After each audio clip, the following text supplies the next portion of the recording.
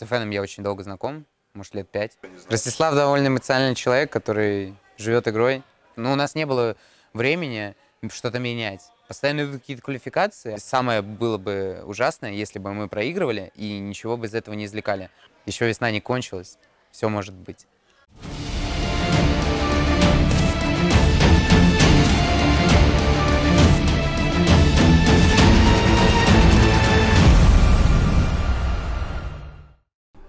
Хорошо, перейдем непосредственно к э, Team Empire. Я наблюдаю за командой уже около двух лет. И пере... повидал много составов, э, вариаций составов э, в нашей организации э, многострадальной в этом плане. И каждый раз это какой-то новый характер. Ты привнес э, свою какую-то ноту хорошего настроения, ты любишь завести всех на какие-то интересные истории, которые я очень люблю слушать.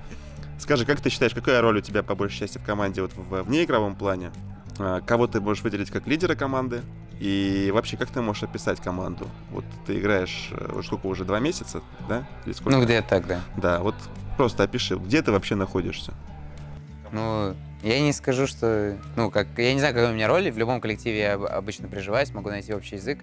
Плюс с, с FN я очень долго знаком, может, лет пять уже, ну, где-то так. То есть с ним, в принципе, мы довольно хорошо общаемся. То есть не было проблемы какой-то влиться в коллектив. Ребята все общительные, нормальные. Насчет лидеров в команде, ну, я даже не знаю, кого-то вот прям явно выделить нельзя, но вот, ну, может быть, Гостик чуть-чуть выделяется все-таки. И как игровой или как вне как игровой? Как игровой лидер. Как вне игровой лидер это Дим Корбан, наш менеджер. Он нас ведет за собой, как говорится. Но, тем не менее, э, роль пикера и человека, который ведет стратегию, взял на себя ты в последнее да. время. Все-таки есть разделение, да, между игровым лидером и человеком, да. который придумывает стратегии.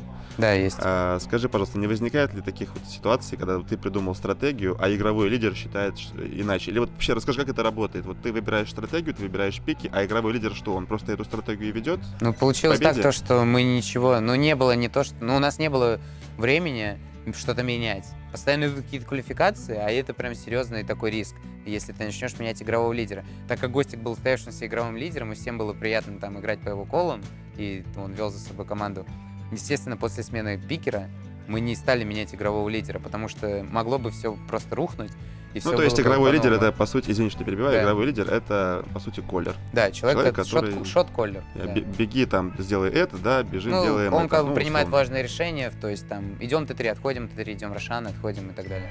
Скажи, деремся, не деремся. очень многие люди в комьюнити мечтают что-то узнать про Ростислава. Угу. Конечно, ты, все расскажем. Ты проболтался, что знаешь его уже пять лет. Жаль, жаль что знаю, да. Опиши, пожалуйста, этого замечательного человека. Потому что в комьюнити он очень однобоко воспринимается порой.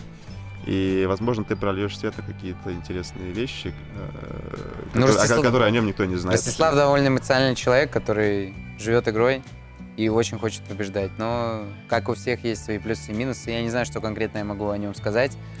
Довольно специфичный человек. Именно к игре он относится очень серьезно, очень профессионально в этом подходе имеет. То есть тоже даже выигрывая там довольно солидные призовые там с International и там получая зарплату, он там не стал меньше играть, грубо говоря, он также тренируется и также хочет достигать вершин, грубо говоря. И, все.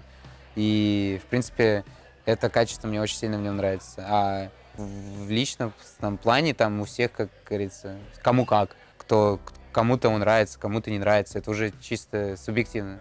А, ты следишь за около киберспортивным движением, то есть стримы, YouTube. Да. Ты каких-то стримеров выделишь, вот которых ты... Вот он... О, он начал стрим, пойду посмотрю. Есть? По доте? Ну, очевидно. Ну, а может и не по доте. Ну, может, у тебя какие-то другие предпочтения есть. Может быть, ты любишь червяков смотреть. Да, я много кого смотрю. Э, значит, э, по доте я смотрю Факин Мэда.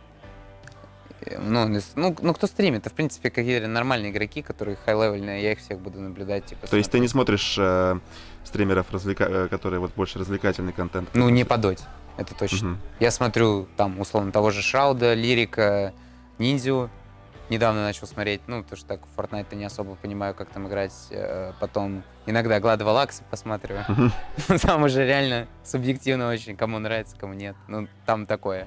Еще есть классный канал на Ютубе Дэ Боуи, по-моему, называется парень. Он делает э, разборы игр э, тир-1 игроков, прям серьезно так. То есть, как, Это зарубежный или... Зарубежный, да. Почему он такие решения принял и так далее. Тоже там много всяких фишек. То есть у него можно научиться чему-то? Да, он очень много показывает всяких интересных вещей. Ну давай в завершении нашего такого импровизированного интервью. Ты принял э, уже участие во многих квалификациях э, за Team Empire и посетил два лан-турнира. В принципе, результаты, сам понимаешь, наши болельщики оценить не могут. Что ты можешь сказать этим, этим людям, которые так долго поддерживают команду и которые вот с нетерпением ждут условного возрождения?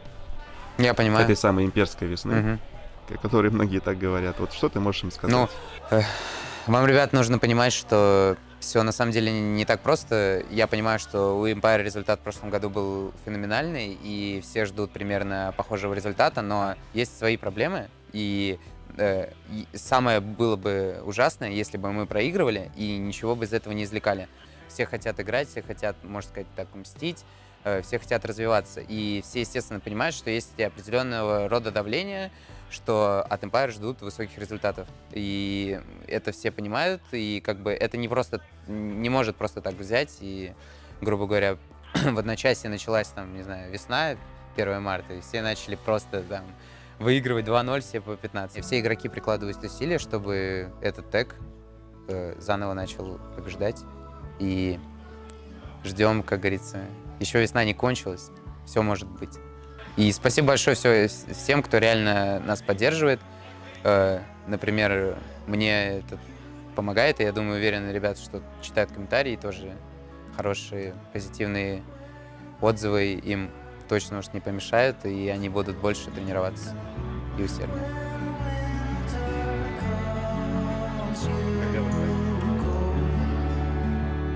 Is it so?